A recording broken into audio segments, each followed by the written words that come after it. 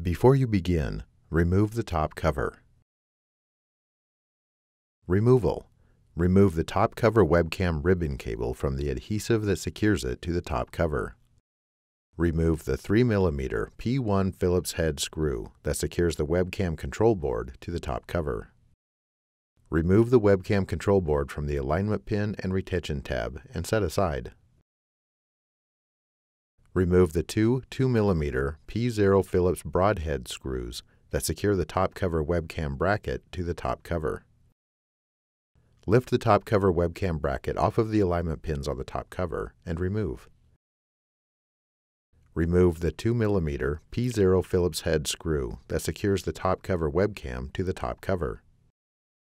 Remove the top cover webcam from the alignment pin and retention tab on the top cover. Remove the top cover webcam and webcam control board. Reverse this procedure to install the top cover webcam.